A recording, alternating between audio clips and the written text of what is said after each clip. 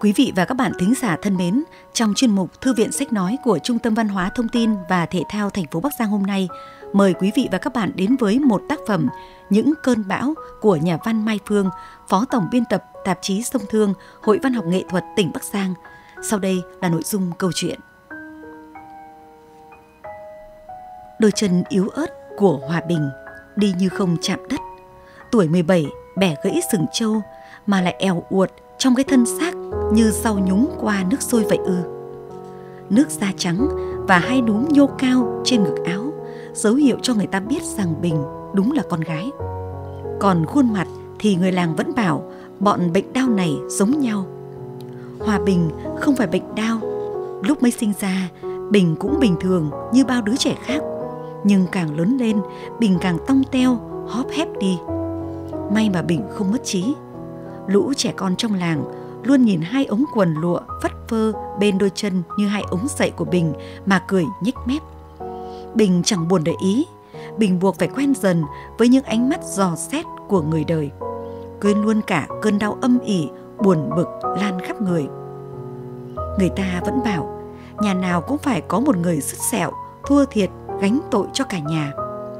Bình học cách sống của mấy cái cây đội đất lên mà xanh tươi ngoài vườn kia.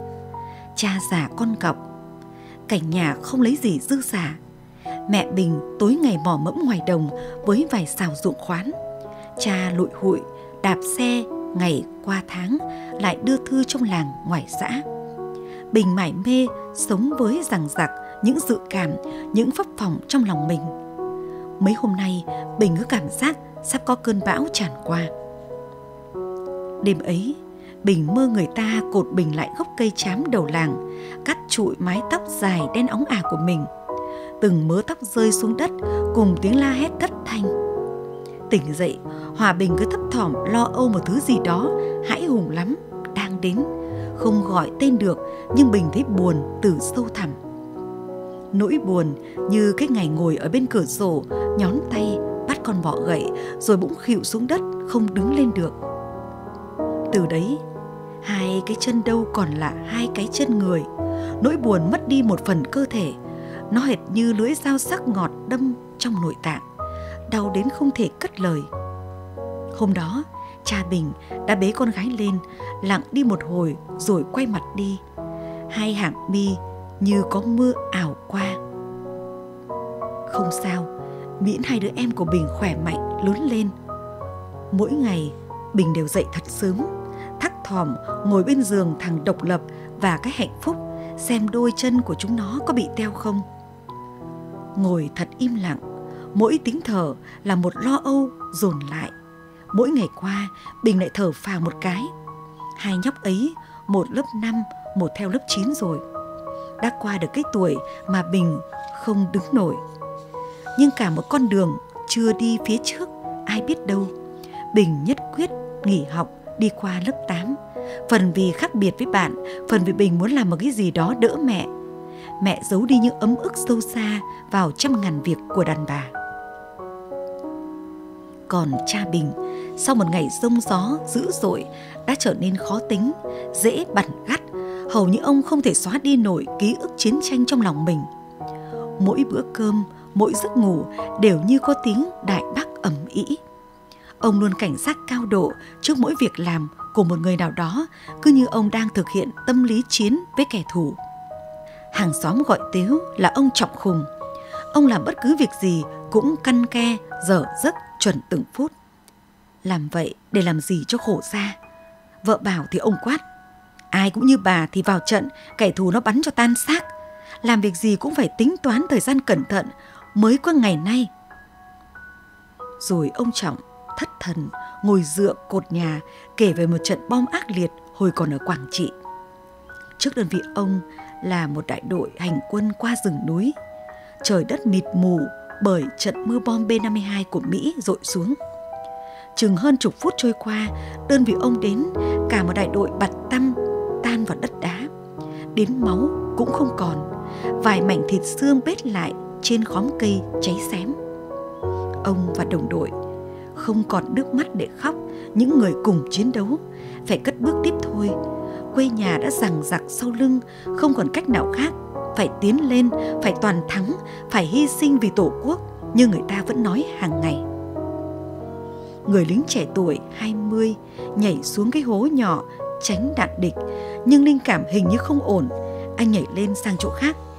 Vừa hay, người trong nhóm trinh sát của anh nhảy thế vào. Ù một cái, chưa kịp chớp mắt, một tuổi thanh xuân bay thành bụi đất. Anh lính trẻ ôm lấy ngực gọi, ôi U ơi, thay cho lời khóc bạn. Giờ đây, sau mấy mươi năm, hình như ông Trọng còn nguyên cảm giác gọi U ơi ngày ấy. Nhất là lúc ông tự tay ngồi vùi xác đứa con của mình giữa nghĩa địa mịt mùng. Cái ngày rông gió đó mãi không chịu trôi mất tâm đi trong lòng mấy người nhà Bình. Mẹ sinh em bé gái sau thằng độc lập, bố vui lắm, nấu đủ món cho mẹ ăn. Bình ngày ngày sờ nắn tay chân trắng trẻo của em, thích nhất cái bàn tay móng dài có vẻ tiểu thư của em bé. Nhưng mỗi ngày qua đi, da em bé cứ vàng rực lên, người khô héo dần, rồi chiều tối mây đen kéo đầy trời vần vũ, gió thổi ù ù mang theo đám mây mũi dĩn qua sân. Mẹ bế em ngước đôi mắt tuyệt vọng lên trời niệm Phật. Em không còn trên đời như chiếc lá héo khô trên tay mẹ. Cha mình ngồi bất động ôm ngực, hai hàng nước mắt âm thầm bỏ xuống hai má sạm đen. Bình không biết làm gì, vừa khóc vừa chạy đi châm đèn. Gió dường như đã thổi bay tuột Bình xuống một cái hố toàn bùn lầy hôi thối. Bình gục vào lòng mẹ, kệ cho mẹ vuốt mái tóc cằn cỗi của mình. Nếu trời sáng, chắc Bình sẽ nhìn rõ mấy ngón tay của mẹ run bắn lên. Cha mẹ gạt nước mắt, gọi thêm chú út đến mang em ra đồng. Chú kể, tưởng anh Trọng không về nổi, ngoài đó gió to quá, trời tối như bưng, anh cứ ngồi như đá mãi. Chắc chú út còn nhớ mãi lúc anh trai mình vùi con bé xuống mảnh ruộng vườn nhà. Thận trọng lấp đất xuống và nấc từng tiếng một. Nỗi đau ấy còn hơn trăm ngàn mảnh đạn bom găm vào da thịt. Cuộc chiến ấy đã mang lại cho ông Trọng gì đây? Những tấm huân chương lấp lánh, danh hiệu cao quý người có công với nước hay cái thứ chất độc quái quỷ tàn ác kia đang gặm nhấm từng thớ thịt mảnh xương của ông gặm nhấm từng chút một cuộc đời ông, cướp đi hạnh phúc đời người của vợ ông, làm biến dạng hình hài những đứa con yêu dấu của ông. Ông tự an ủi, cuộc chiến là sự nghiệp vĩ đại của cả dân tộc giành tự do độc lập. Ông và hàng triệu người không tiếc tuổi xuân cho thế hệ sau này. Ông không có con đường nào khác và chắc chắn từ ngày rời cuộc chiến ấy trở về, trái tim nhiều tự hào của ông đã bị thương, rách nát, vạn lần. Đến nỗi mỗi giây phút nó đều dị báu. Ông đặt tên con gái là hòa bình, nhưng hình như điều đó chưa về trong căn nhà của ông. Hai bố con lên bệnh viện huyện khám bệnh. Ông cầm tờ kết quả xét nghiệm bệnh của bình ra về trong câm nín. Bình lấm lét, ngồi sau xe cha, nghe hơi thở của ông cứ ngộp lên qua lần áo đẫm mồ hôi khi qua hiệu sách, người cha vào mua cho con cuốn không gục ngã của tác giả nước ngoài, coi như mua lời động viên chính mình để gượng dậy đi tiếp. Hồi mưa bom bão đạn, sống trong rừng rú, ngâm mình dưới sình lầy, râu tóc để như người rừng, ngày đêm rình mò trinh sát căn cứ địch, ăn rau rừng, uống nước suối, cũng đâu thấy khổ như thế này. Hồi đó, nhìn bà mẹ già nước mắt lưng tròng tiến ông ra trận ông đã thấy tức tưởi. Rồi con về, chứ đi đâu mà u lo. Anh chẳng trọng hồi đó, nói thế, rồi ào ào lên đường trong cơn rung chuyển của phong trào tổng quân, tiếng hát, át tiếng bom. Đường ra trận, mùa này đẹp lắm. Không khí náo nức ấy, giọng nói hùng hồn động viên trai trẻ lên đường khi ấy đã khiến người nào không lên đường là thấy lẻ loi, cô đơn ngoài cuộc. Chỉ đến khi vùi trong cơn sốt rét qua một đêm hôm sau người ngủ cạnh võng mình đã bị một đàn mối khổng lồ bu kín. Hoặc thấy mấy cô thanh niên sung phong đầu không một sợi tóc phơi mình trong bom đạn. Trọng mới thấy hết cái lo lắng vời vợi của u mình mới thấy cái khốc liệt của sống chết. Tính mạng con người không phải là đá sỏi. May mà đúng cái ngày bà mẹ già đang làm dỗ, cúng con khi đã vài năm sau giải phóng. Con mẹ không về thì trọng vác ba lô đi từ ngõ vào gọi tướng lên. U ơi, con còn sống. Họ hàng làng xóm ùa đến, cười nói tưng bừng. Mẹ ông sau một hồi khóc nức nở, tự hào bảo chiến tranh xong sống khỏe mạnh trở về mới anh hùng chứ chết thì còn nói làm gì ông nghĩ về những điều đó để đủ can đảm sinh thêm những đứa con đúng là hồi ấy, đơn vị đề nghị phong anh hùng cho ông, mà ông cứ ngần ngừ không nhận. Giờ đây, đời thường vò đầu đắm cổ ông, cho ông ngã rúi rụi, vấp váp vào đủ trò lửa gạt, sỏ xiên của người đời. Ông mới hay, mình chỉ anh hùng trong cuộc chiến đó thôi. Còn thật ra, mình khác gì mấy cây dứa dại, mọc tàu lá non nào là bị con dao lia qua vạt đi đau điếng ơn trời đất phù hộ. Mẹ cũng bảo phật xót thương nên mình thằng. Độc lập và cái hạnh phúc ra đời lớn lên như bao đứa trẻ khác. Ông trọng không nói ra, nhưng hồi hộp từng ngày, ông đâu biết vợ ông còn có cái khoảng trống khủng khiếp hơn, chất đầy lo lắng. Bình nữa, bình cũng đánh dấu vào lịch túi từng ngày. Mỗi lần sinh nhật các em, bình đều tất tả từ sớm đi chợ, mua đỗ đoan về, hì hục nấu chè bổ xoài hay bưởi để làm tiệc cho em. Hai nhóc con sờ vào chân chị cười nắc nẻ. Bình còn đứng rung rung ống quần treo chúng. Lúc ấy mặt ông trọng giãn ra nụ cười đến từ nơi nào rất xa trong lòng ông làm vui lây người khác. Bình lọ mọ quẩy đôi căng gánh tòng ten, đi khắp làng nhặt phân trâu rơi vãi về cho mẹ ủ bón ruộng trồng rau mày nhặt thứ đó về trộn cơm à? Giọng khê nồng của gã đàn ông quý làng.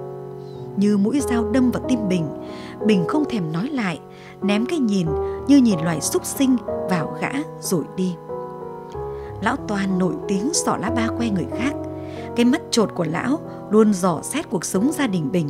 Lão vẫn vinh vác với lũ trẻ con rằng mình là thương binh chống mỹ. Hàng ngày, lão lội sông, vớt củi, mang ra chợ bán lão sống trong làng mà đâu có khác cái bóng là mấy ngoài nói mấy câu cho cậy bánh xe người xung quanh, lão thường không được dân làng đón nhận, nhất là mỗi khi giáp mặt cha bình, lão cúi gầm mặt, mắt nhìn chỗ khác lấm lét. Cha bình thường bảo, thằng phản động, tao mà có chứng cứ, thằng đó chết luôn. Trưa nay nắng tràn qua dặn gấc, đổ đầy sân, cha bình mở cái vali cũ mềm, lấy một nắm giấy đưa cho anh cán bộ xã bây giờ người ta xét chế độ da cam ngặt nghèo lắm bác ạ. Mà bác biết đấy, đi lại bây giờ tốn kém, trầu trực, còn chẳng biết có được việc không. Anh thanh niên nói liên hồi, tay vuốt mấy tờ giấy. Tôi nói cho anh biết nhé, chúng tôi tham gia chiến trận vào sinh ra tử cho đất nước này, cho những người như các anh được sống. Anh nhìn con tôi xem, như thế chưa phải đủ tiêu chuẩn à cha bình nóng mắt, nói sẵn. Gã cán bộ xã hạ giọng. Ấy không, ý cháu là bác nên có chút bồi dưỡng cho những người giúp mình. Cháu sẽ kết nối. Ông trọng ớ người ra. Cậu nói đến tiền phải không? Mẹ bình hình như thấy trận cuồng phong sắp nổi lên, đi từ trong buồng ra bảo. Cháu cứ giúp ba đi, rồi bá gửi. Bà quay sang chồng ông gửi cho cháu nó ít tiền làm lộ phí. Bà còn nói thế à? Tôi không đi mua nhé. Lẽ ra phải làm cho tôi lâu rồi mới đúng chứ. Bao lần gửi giấy tờ đều mất hút. Rồi cha bình quát lên. Anh kia, mời anh cút xéo khỏi nhà tôi. Tôi không tiếp loại cán bộ như anh. Mất chất. Khi xe máy nổ giòn tan đi khuất, bình thấy cha mang con dao găm kỷ vật thời chiến tranh ra lau đến sáng loáng. Cả nhà thoát tim. Mỗi khi bực bội điều gì, ông thường làm thế, rồi lại cất con dao vào ngăn kéo cuối giường. Có hôm, ông thức thật khuya nghe đài, ghi chép, gọi điện người này người khác, vẻ nghiêm trọng lắm. Thằng độc lập, cái hạnh phúc, có vẻ rất thích thú mấy đồ vật cũ của cha và hay chơi trò chiến tranh bắn nhau bùm bùm. Thằng Lập cầm cành củi khô làm súng chĩa vào người con Phúc. Kêu đoàn một cái, thằng Phúc ngã lăn ra giả vờ chết. Sau đấy, hai anh em ôm nhau cười như nắc nẻ, hề hà kể lại cho Bình nghe. Bình thấy sợ sợ. Hay gì cái trò bắn giết nhau? Cha Bình thì im lặng một lúc lâu rồi nói. Mấy đứa này, bố mày đi đánh nhau cả đời không chán sao? Đừng chơi trò đấy nữa, hỏng người lúc nào không hay. Bình đã thấy hết cái ký ức khủng khiếp một thời trên gương mặt cha mỗi khi ông ngồi bất động trên cái phản gỗ giữa nhà mỗi bữa cơm. Mỗi đêm ông Trọng ngủ say, Bình vẫn lén lút thức dậy, mò mẫm đi thật nhẹ vào giường cha nhìn mặt ông. Bình xót xa khi thấy hầu như ngày nào ông cũng khổ, chẳng biết khi ông ngủ ông có được thư thái. Có mấy lần Bình thấy má ông giật giật, vẻ thẳng thốt hiện rõ. Một đêm, Bình vừa đặt chân vào nền nhà, tính cha hỏi. Con Bình hả? Không ngủ đi mò mẫm ăn trộm gì đấy? Dạ, con xem bố ngủ chưa? Tao vừa mơ sợ quá, thằng Mỹ to cao máu me bê bết đổ ập vào người, cứ như trận đánh mới hôm qua. Ông kể Bình nghe cái trận ông và đội trinh sát bị lọt vào ổ phục kích của địch. Trong trận quyết chiến giáp lá cà, ông đã giết người lính Mỹ cách mình hơn một bước chân bằng một nhát dao thấu tim. Thân hình kẻ giặc đổ sập lên người ông. Lúc ấy ông không còn cách nào khác. Giữa sống chết, bom đạn, máu đổ là thường, chết chóc là thường. Nhưng ông đâu có ngờ đến khi hết chiến tranh, những cái chết đó về gọi ông hàng đêm. Bình ngồi đun nắm lá cháy lèo xèo trong bếp và thấy ngọn lửa nóng rát ấy hệt như ngọn lửa trong mắt cha mình. Ông Trọng ngồi trên ghế xem tivi đưa tin về ngày chiến thắng 30 tháng 4 1975. Mắt ông nhòe đi, Bình dục cha đi tắm, ông bảo. Tao nhớ lại tối hôm ấy, sau trận bom của địch. Hồi đó, đơn vị ông bị thương hàng chục chiến sĩ ngay giữa vùng đầm lầy. Một cái lán phẫu thuật được dựng lên, ngọn đèn soi được treo lên nóc lán. Trung, anh chàng lẻo mép hát hay nhất trung đội nằm đau đớn máu me bề bết đôi mắt nhắm nghiền một chân trung bị dập nát nhất định phải cưa đi sáu chiến sĩ khỏe mạnh lấm len bùn đất đứng hai bên giường bệnh theo dõi ca phẫu thuật sau khi tiêm thuốc tê cho Trung, không ai dám nhìn bác sĩ cưa chân đồng đội. Bỗng Trung kêu lên, tôi mất chân rồi. Bác sĩ phẫu thuật lấy hai tay cầm cái chân sưng tấy vừa bị cắt đỏ để đến uịch một cái vào cái xô. Không ai bảo ai, sáu con người đứng đấy òa lên khóc nức nở. Mọi người ôm lấy Trung, vậy là mơ ước sau khi giải phóng đất nước sẽ về làm ca sĩ của Trung tan biến. Trung chìm vào cơn sốt nóng như lửa, vã mồ hôi, trọng vào đồng đội đi chôn cái chân của Trung dưới gốc cây rừng. Mắt cay xẻ, trọng ngước nhìn lên vầng trăng mờ mờ trên cao và chợt nghĩ, không biết trăng lúc hòa bình có sáng hơn không? Cho đến bây giờ, mấy chục năm đã qua, ông trọng vẫn không thể nào quên vầng trăng đêm ấy. Nó chứng kiến những mất mát lớn. Gần sáng, đơn vị được lệnh di chuyển. Không ai được ra khỏi hàng ngũ. Người sau bước bám theo đúng bước chân người trước. Máy bay địch giả đến bỏ bom. Những người cáng thương binh quyết định đổi hướng quay vào rừng. Chậm mất nửa ngày, đơn vị mới đến nơi tập kết.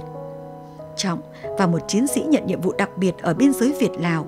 Từ đó đến lúc ra quân, Trọng không có dịp hỏi lại Vĩnh chuyện hôm ấy nữa. Về làng, lão Toan chưa khi nào dám ngồi nói chuyện với ông Trọng. Hễ họp cựu chiến binh là lão ấy né đi. Nhiều người nghi lão ấy là thương binh giả. Trọng không rõ sau khi Trọng rời quân ngũ, gã đó tham gia trận chiến nào và bị thương trong hoàn cảnh nào. Cả nhà không ai cản nổi chuyến đi miền Trung của cha Bình. Bác Thanh ở xã bên đến đi cùng. Hai ông già, hai cái ba lô lỉnh kỉnh đủ thứ. Ông Trọng mang theo con dao găm sáng loáng. Bình chuột dạ, họ đi gặp lại đồng đội cũ để hàn huyên lại chuyện chiến trường. Sao mà mang nhiều thứ thế? Lại cả mấy lá thư ố vàng, nét chữ đã nhòe đi. Bác Thanh nói với mẹ Bình là đi gặp lại người mà ông Trọng đã nhường cho họ thành anh hùng hồi nọ để hỏi vài chuyện. Bình thấp thỏm, lo lắng, không biết đường xa thế, bố có bị ốm không? Hôm trước gọi điện, ông Trọng cười, sang sảng bảo. Tao chưa chết đâu mà lo, bảo mẹ mày là bọn già này đến nơi rồi. Nay trời âm u, nặng nề như có bão. Cơn bão dường như ẩn nấp đâu đấy, dưới mấy cái vòm cây im lìm kia. Tịnh, không một gợn gió. Bình ngủ một giấc từ sáng đến chiều, bỏ cơm trưa. Mẹ bảo, bố mày về rồi, cùng hai ông bạn đồng ngũ đi tuốt vào làng, chả hiểu gặp ai, không nghỉ ngơi gì đi luôn. Bình có cảm giác điều mà Bình lo sợ đã đến. Bình nhoài khỏi giường, ra khỏi nhà, men theo bờ có bên con sông Máng vào làng. Nhà lão Toan ở một mình trên quả đồi, ngay ở gần rừng sim. Bình gặp chú trưởng thôn, chú quát. Con bé này, ai cho đến mà đến, hỏng hết việc. Việc gì chú? Chú có gặp bố cháu không? Ờ, chết chú rồi. Mày mà biết chuyện, bố mày mắng chú không ra gì đâu. Nhưng thôi, đã đến thì nhanh chân lên, núp kín vào. Trên sân nhà lão Toan có sáu người đàn ông tất cả. Ông Trọng, Bắc Thanh, chắc người thương binh già nhất, nói giọng miền Trung là Bắc Vĩnh, chú trưởng thôn, công an xã, lão Toan cùng con trai lớn của lão. Lão Toàn có dáng điệu khác hẳn ngày thường, lão run rẩy quỳ mọp xuống sân, giọng lập cập. Tôi, tôi xin các ông tha tội. Ba người lính xưa ngồi trên mấy chiếc ghế cũ. Bác Thanh giọng chậm rãi. Ông có khi nào thấy xấu hổ không khi chính ông cướp công đồng đội của mình không? Thế ông bị thương bao giờ hả? Bác Vĩnh lên tiếng. Bây trừ, ông hối cải đi, ông đừng tưởng giả dối trên xương máu của đồng đội thì trời đất dung tha nhé. Ông Trọng đứng nhìn lão Toan, hai mắt như nổ lửa. Lão Toan rũ xuống, giọng lạc hẳn đi. Tôi nghịch súng tự bắn vào chân, xin ông... Bóp mạnh, muốn tê cứng. Nhà hòa bình chật kín người, mấy chiếu ngồi. Khách là các cựu chiến binh trong làng.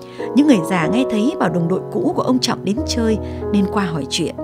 Bác Vĩnh bảo, tớ anh hùng đếch gì, mày có cậu Trọng nhường đấy chứ, cậu này mới thực sự xứng đáng. Bác vỗ tay bồm bộp vào lưng ông Trọng, mấy ông già đấy thêm vào. Chiến tranh ác liệt mà bọn mình vẫn sống, vậy là anh hùng hết, giờ còn những cuộc chiến gay go nữa cơ. Cha Bình ngồi im lặng, dường như ông không muốn nói gì lúc này. Bác Vĩnh ở lại chơi mấy hôm, suốt ngày dì dạ nhỏ to cùng bạn cũ. Bình biết hai ông đánh dấu đỏ xanh trên tấm bản đồ kia, lau chùi những kỷ vật cũ và chuẩn bị lên đường tìm mộ đồng đội. Chưa bao giờ Bình thấy cha vui vẻ như bây giờ. Cơn bão gần đã tan. Bình thấy đài dự báo có những cơn bão xa, nhưng lòng cô lại nhẹ nhõm lạ kỳ. Quý vị và các bạn vừa nghe chuyện ngắn Những cơn bão của nhà văn Mai Phương, Phó Tổng biên tập tạp chí Sông Thương, Hội Văn học Nghệ thuật tỉnh Bắc Giang trong chương trình Thư viện Sách Nói của Trung tâm Văn hóa Thông tin và Thể thao thành phố Bắc Giang qua giọng đọc Thanh Hiền, kỹ thuật viên thu âm và nhạc đệm Thanh Bình, Trần Lâm. Quý vị thính giả yêu thích truyện, xin truy cập vào kênh YouTube Thư viện thành phố Bắc Giang và kênh truyền hình thành phố Bắc Giang. Thân ái, chào tạm biệt và hẹn gặp lại quý vị và các bạn.